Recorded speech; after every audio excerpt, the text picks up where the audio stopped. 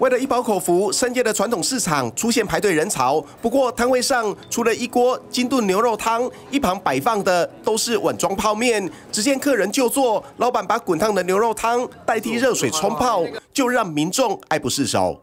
就看到美食群过来的，看到有人拍影片过对，我们泡都用清汤泡，就是水而已。那这次还有加它煮过牛肉。原来这是大陆街头的平民美食，没想到却在美食之都台南成了当地民众追逐的夜间幽灵美食。另外，在高雄，老板可以现场点吗？可以啊，大概半个小时。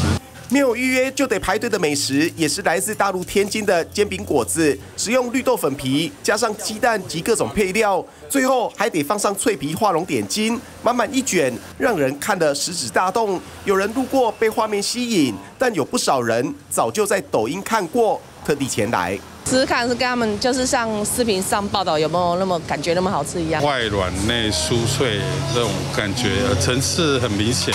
高雄林雅区的煎饼果子名店，厨师出身的老板，几年前在大陆吃上一口，就决定把它引进国内。近年来，靠着口碑跟抖音迅速爆红。另外，看起来像是挂包的肉夹馍，也是近年来的网络美食。抖音来的嘛？有很多啊，很早之前就有一直在在放了。红烧肉跟洋葱、青椒及酸豆拌匀，包进饼膜，口感让人惊艳，就连辣口零嘴也插旗国内的大卖场，跟着爆红。台湾小吃国内外驰名，没想到因为抖音的普遍，让这些原本在大陆的平价美食，意外到了台湾，快速遍地开花。